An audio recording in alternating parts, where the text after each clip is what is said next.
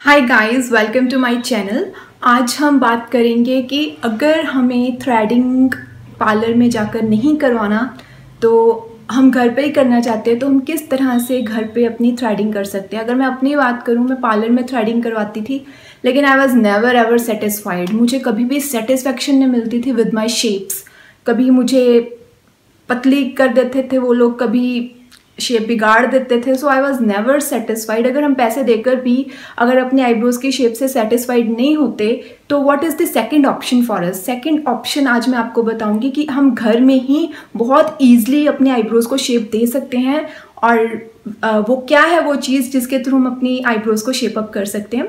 So today we will discuss about this so today I am going to give you review on eyebrow shaper मैंने ये purchase किया था प्यानी नाम का ये शेपर है आईब्रो शेपर एंड इसको मैंने माई नायका से ऑर्डर किया था। इसकी जो प्रिंट प्राइस है it is two hundred rupees लेकिन मेरे को ये डिस्काउंट में नाइन्टी नाइन रुपीज़ में मिला था और इसको आप मल्टीपल टाइम्स यूज़ कर सकते हो which is comparatively very cheap जो हम पार्लर में जाकर पे करते हैं अपने आईब्रोज़ को शेप अप करवाने के लिए।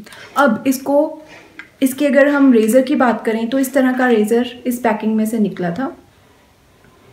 ये इसका रेज़र है यू कैन सी और इसके ऊपर ये ट्रांसपेरेंट कैप लगा हुआ था। जब आपने इसको यूज़ कर लेना उसके बाद इसको आपने क्लीन करना है। क्लीन करने के बाद इसको अगेन आपने इस तरह से बंद कर देना अब इसको यूज़ किस तरह से करना है? सो so, अभी मैंने अपने आईब्रोज़ पर कोई आईब्रो पेंसिल वगैरह कुछ नहीं लगा हुआ और मेरे आईब्रोज भी थोड़े से शेप अप करने वाले हुए हुए हैं। तो मैं आपको करके दिखाऊँगी किस तरह से हम घर पर ही अपने आईब्रोज को शेप अप कर सकते हैं। सो so, थोड़ा सा टैल्कम पाउडर आप लगा सकते हो अपने आईब्रोज के ऊपर।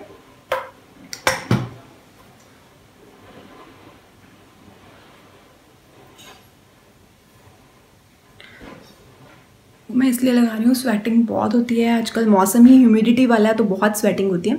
तो मैंने आ, लूज़ पाउडर लगा लिए अब इसको यूज़ किस तरह से करना है? अगर आप अपने आईब्रोज़ के ऊपर वाले हिस्से को शेप अप करना चाहते हो दिस वन तो आपने इस तरह से इसको रखना है। इस तरह से रखकर like this you have to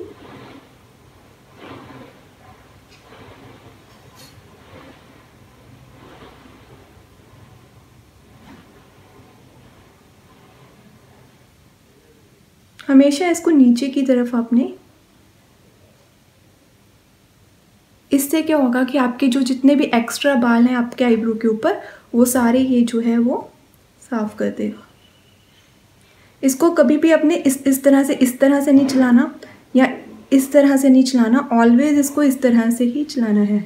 जहाँ तक अपने अपने बालों को साफ़ करना है, इसको वहाँ तक लगाइए।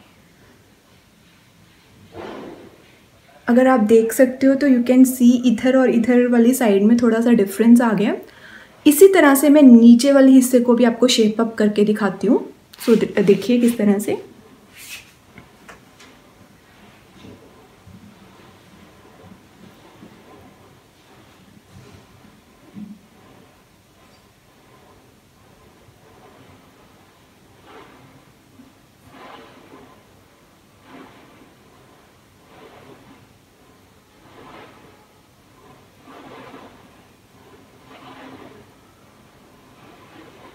तरफ़ करना है, इस तरह से।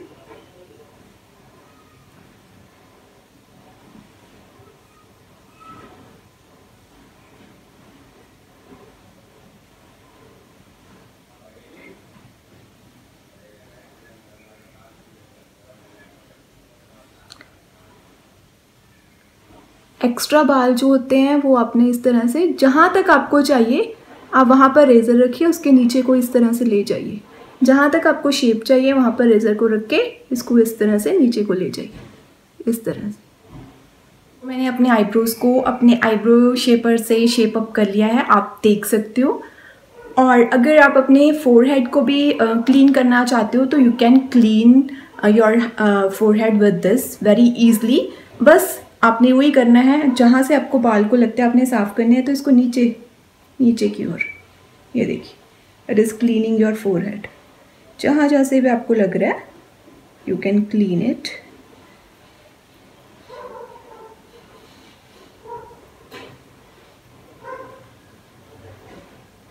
and it is very cheap comparatively parlour में जो आप जाकर करवाते हो क्योंकि ये आपका twenty to twenty five times use हो जाएगा ये रेज़र सो uh, so, अगर आप कैलकुलेट कर लो तो इट इज़ वेरी चीप ये नाइन्टी नाइन रुपीज़ का है only so it is very cheap without any pain without आपको टाइम आपका लगे, आप अपने आईब्रोज़ को और अपने फोरहेड को क्लीन कर सकते हो इससे।